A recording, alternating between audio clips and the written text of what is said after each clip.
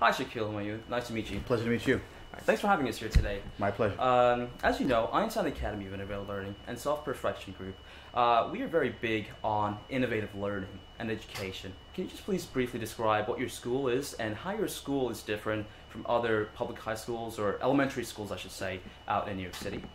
Well, our school, Wellspring Elementary, um, its brand is creativity. Mm-hmm. Um, Wellspring focuses on the identif- on identifying talent and Mm-hmm. developing talent in children. Now, it uses creativity and divergent thinking as a platform to do that. So we really believe that we're not here to tell the kids what they should be. Like some um, institutions will have the kids uh, believe that they should be doctors or they should go into science or Right. they should go into writing. Right. We let the kids actually decide for themselves. Mhm. We're facilitators, so we get to see. We, our job as educators uh, is to try to identify the talent of the child and let the child them, the, himself or herself display that talent, and then we develop that talent. School prepares you for life. School prepares you for a career. In reality, that is not true. School does not prepare you for a career. I want to talk about uh, uh, uh, one of my favorite favorite philosopher of mine, John Dewey, um, who said, "Education uh, is not preparation for life. Education is life itself."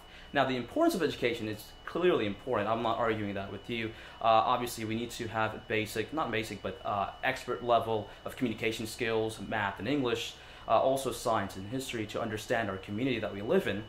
Um, but I know your school doesn't have competitions. Now, in elementary school, uh, there's you know the, the famous spelling bee, which is you know everyone does this, uh, which students like. But you know you you don't hold spelling bees and several competitions. Can you please uh, explain to to me uh, to us our, your views on competitiveness and placing competitions in schools? Right. So we do teach our kids to be competitive and to excel, Mhm. right?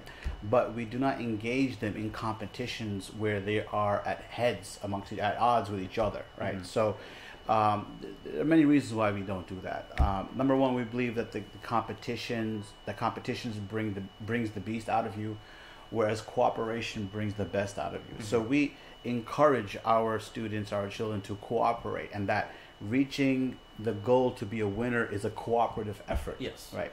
So if someone, if we have the children competing against one another, we're naturally starting to harbor bad feelings. I want you to lose because I want first place. Yes. Because there's only one first place. Right. Let's face it, right? Exactly. Now, the second place winner could have studied longer and harder than the first place winner. The second place winner could have went on stage and was nervous and spelled that word wrong, even Yeah. though the child knew how to spell that word. The first place winner got all the words that he studied uh, Right. for, and he got the easy words. It just happened that way and got first place. Now, the message that we're sending to everyone else is that you failed, and Mhm. everyone else, I mean, everyone has failed, and this first Right. place person is the winner. Right. Now, right. It doesn't sound like a motivational strategy when you reward 1% right. and you demotivate 99%. Right. True. So we redefine the concept of winning. We tell our children there's nothing wrong with making a mistake. There's nothing Mm-hmm. wrong in failing. Failure is not an end and a loss. Yeah. Failure is a pro- is a step in the process towards success. Now, if we reward just one winner, we're sending the wrong message. We're saying Yes. you failed. You're not going to get that trophy. So we have activities where everybody's involved, but we reward everybody because you have to look at the effort they put in. So we- did uh, the Terra Nova testing, and um, they performed better than 91% of America. 91% of America. I just want to emphasize that, which is very, very impressive. Is a college degree worth something these days in this time of era right now in terms of landing a career? We believe it's very archaic, Mhm. and we believe it's not keeping up with the times. Right. And there are many signs of that. Amongst them, you have today a record number of millionaires in their 20s, Mhm. right, who have not gotten their PhDs or their Right. masters. Right. And what does that tell us? Most people go to college because they need, want to get a job because Right. they want to make money. Right. Now, if the society has gone to a level where people can become millionaires without the PhD degree or the Right. master's degree, that means there's something wrong with the current system or it has to be tweaked.